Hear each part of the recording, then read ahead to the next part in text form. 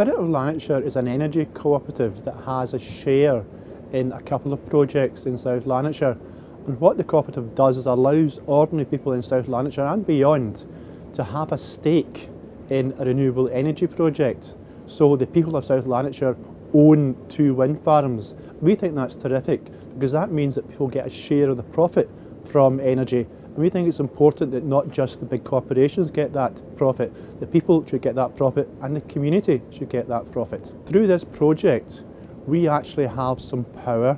We have a degree of control over what happens with some of the money that is derived from this project. So for us, it's about turning that around, investing in community, um, and over the next 25 years, we hope to invest a considerable sum of money in the community of South Lanarkshire um, and we believe we will benefit from that um, as a group of people, as the people of South Lanarkshire. The way the scheme operates is we've actually bought a share of the profits. We don't actually own either project.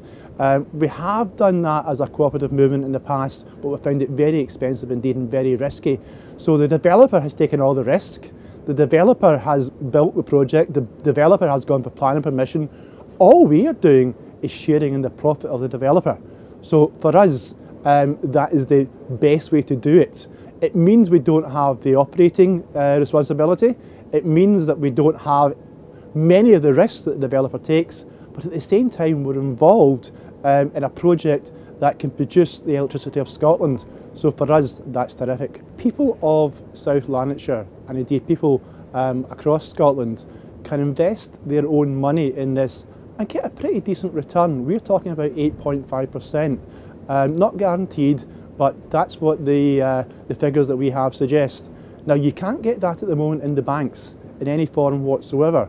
So we think it's a good opportunity for people to invest for the future, for themselves, for their children and for their grandchildren. But also, we are investing in a different way of producing electricity. It's not just um, about money, it's also about how in 20, 25 years our children our grandchildren um, receive fuel, not from carbon we hope, but from renewable sources.